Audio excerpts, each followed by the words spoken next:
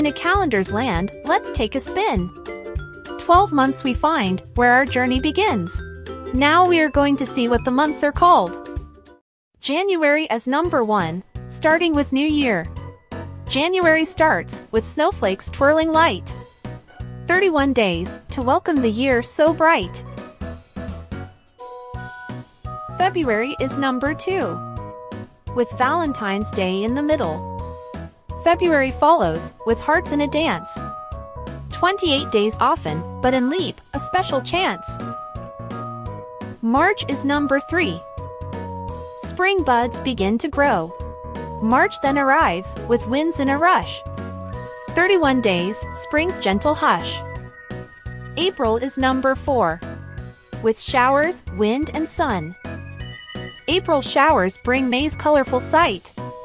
30 days to bloom in the sun's warm light. May is number 5. With blossoms blooming. May blossoms bloom in the sun so fair. 31 days for nature to share. June is number 6. With summer's cheer. June's warmth kisses with days so long. 30 days to sing a summer song. July is 7. School is out, vacation is here. July blazes in, with heat on its heels. 31 days, the sun's fiery zeal. August is number 8. Hot and bright, ice cream cones, a cool delight. August gleams bright, with skies so clear. 31 days of summer cheer. September is number 9. Comes, with back to school, September appears, with school bells in tow. 30 days of learning, let's go! October is number 10. Pumpkins to carve. October beckons, with pumpkins aglow. 31 days of spooky show. November is number 11. With turkey and pie. November gathers, with feasts in the air. 30 days of gratitude to share. December number 12. December's frost adorns the land. 31 days, with joy hand in hand. So here in our months, as the cycle goes round, each one brings magic in treasures unbound. One year has 12 months, 52 weeks, and 365 days. Let's count the months.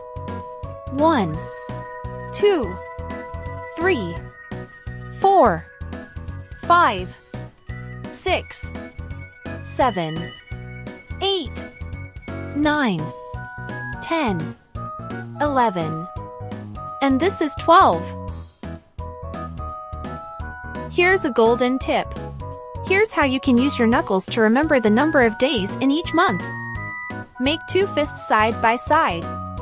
Start with your left fist and look at the knuckles and spaces between them. Begin with January, represented by the first knuckle. January has 31 days. Then move to the space between the knuckles, which represents February. February has either 28 or 29 days in leap years. Continue alternating between knuckles and spaces for the remaining months, with knuckles representing months with 31. Days and spaces representing months with fewer than 31 days. This method helps you quickly recall the number of days in each month by simply counting the knuckles and spaces on your fists. 12 months in one year. January as number 1, 31 days, February is number 2, 28 days, and 29 in leap year. March is number 3, 31 days. April is number 4, 30 days. May is number 5, 31 days. June is number 6, 30 days. July is 7, 31 days. Now on to the next fist.